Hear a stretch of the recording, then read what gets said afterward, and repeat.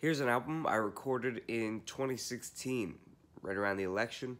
Bunch of political jokes, so if you don't like that, too bad. Uh, I just never did anything with it, but now I'm just gonna put it out to you. Enjoy. stressed out lately. My, uh, I got my credit card stolen a little while ago, which isn't a big deal because I'm poor. So, all right, have fun with that. You know? uh, my friend got her identity stolen, and she was complaining to me about it. She's like, "They bought two Bentleys, and now I have to pay for it." I was like, "You can afford two Bentleys? You bought me a sweater for Christmas. You're a dick." if someone stole my identity, I'd complain, but it'd be a much different conversation. I'd be like, they bought two value meals? I didn't know I had that kind of credit. It's crazy if you ever get your credit card stolen because the bank calls you up and they start reading off your purchases one by one, which gets embarrassing. Because after a while, you gotta sit there and be like, no, that was me, actually. Yeah, I mean, they're just, it's like you're on trial and you're just like, Chipotle? I'm like, yeah. Chipotle again? Yeah. Chipotle again? This is the same day. I, you know what? I don't girlfriend. Leave me alone. The funniest thing is at the end of the conversation, they go, hey, if you're ever worried about anything, just give us a call. We can go back up to 60 days and remove any suspicious purchases. And I'm like, fucking all of it, yeah. What? Who says no to that? Now that you mention it, who goes to Chipotle that much? Come on. I'm not that lonely.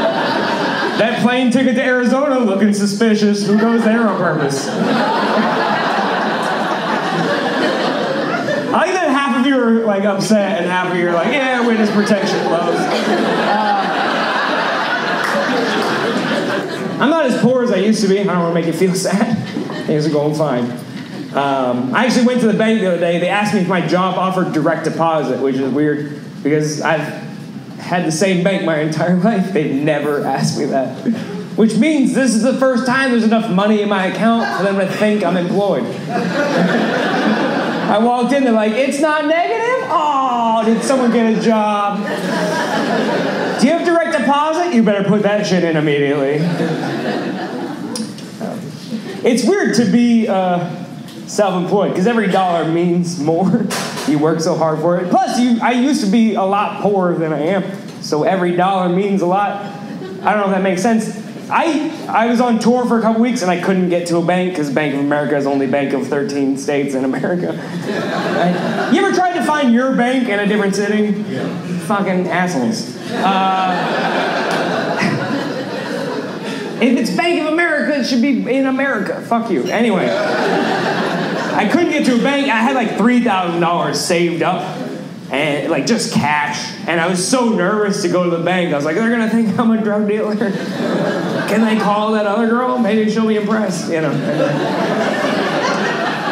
But I was like in my I was like in my room practicing a conversation with the bank. Like, no, no, no, all money has cocaine on it. It's not just me. Like I swear. Don't you read BuzzFeed? You know. So I'm so prepared and so nervous. And Then I get to the bank and they're like, yeah, that's fine. That's not a lot of money. and I was like, oh, okay. Or they're just like, we don't care where you get it, just give it to us and we're gonna lose it.